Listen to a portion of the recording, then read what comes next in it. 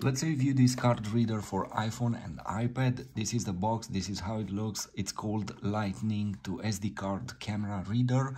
And with this device you can import everything from this card to your phone gallery or you can export everything from your phone to this SD card. And when I say you can import export everything, I mean not only the photos here in gallery, but also every other file that is available uh, on your phone or on your card and why not on iCloud.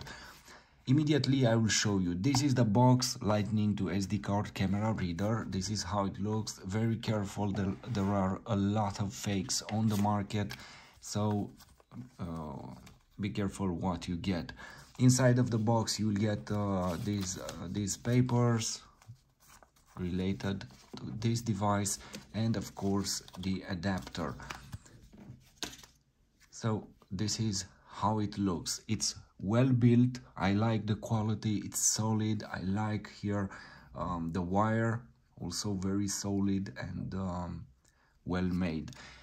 How you uh, how do you use this and uh, what you can do with it? First of all you can use micro sd cards either in this format or uh, with the adapter i mean or you can use sd cards this uh, huge format. Anyway with micro SD card you will, you will need this adapter. You insert it here. In this way you have this icon here. You cannot insert it like this. So like this. And after that you insert the adapter here in your iPhone or iPad. Uh, you will see in the gallery after that uh, this uh, this new icon here import and if you press on it you will see all the photos that are on the on this card.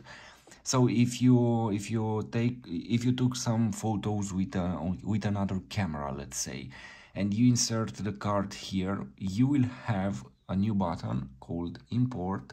And if you press on it you can uh, you can see all the photos on the card. There is one condition. The photos have to be in that photo folder or um, uh, DCIM folder, how it's called, and after that you will see them here. If no photo is available on your iPhone here in import, uh, uh, new button import here, if you don't see any photo, but still you have photos on the card, it seems in that moment you will need to use File Explorer. Basically, I have here photo gallery and the app files. You will have to use your file explorer and here you will see your card. And you have access to the entire content. You can copy everything and uh, you can do almost everything you want just like on a on a pc on your laptop in your SD, in your card reader. So this has huge advantages. Let's go back to to gallery and for example i have these photos. You have two options. The, uh, as i said the first way either you use your gallery to import photos from card to iphone or you can use files uh, to import everything from your uh, from your card uh, photos videos and so on and other files.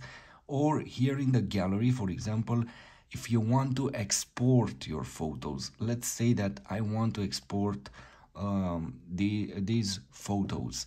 I select them press share button and here just scroll and press save uh, press save to file. Sorry. Here press save to files. This is it. And in this moment you you have access to that file explorer select card and you can put them in uh, in any folder you want or you can create a new folder. It depends on you press save and that's it. Now these photos were exported to this SD card. Uh, to check that go to to file explorer select card here and here in download look you will find your photos or videos or text documents whatever you you want to to to move copy and so on for because here in file if you press like this you have an entire uh, uh, suite of options. So in this moment let's say that you have on this card photos in this folder here in download for example and you want to put these photos in your iphone gallery. Just select select them or as many as you want. Press share button and press here save three images.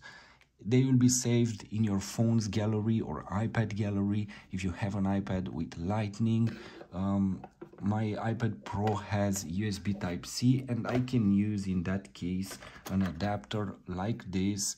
And i can use any stick card reader external hard drive it's convenient to have the USB Type-C over there. Anyway, that's another discussion. So this is it, a very convenient way to to use um, to use your uh, phone, iPad to import, export photos or any other file. This is it. Very simple, in my opinion, and very useful. And it works flawlessly. I don't have any problem with it it's fast and um, I can do anything as long as I want to uh, uh, to import export files uh, from iPhone to card to SD card or to, from SD card to iPhone. This is it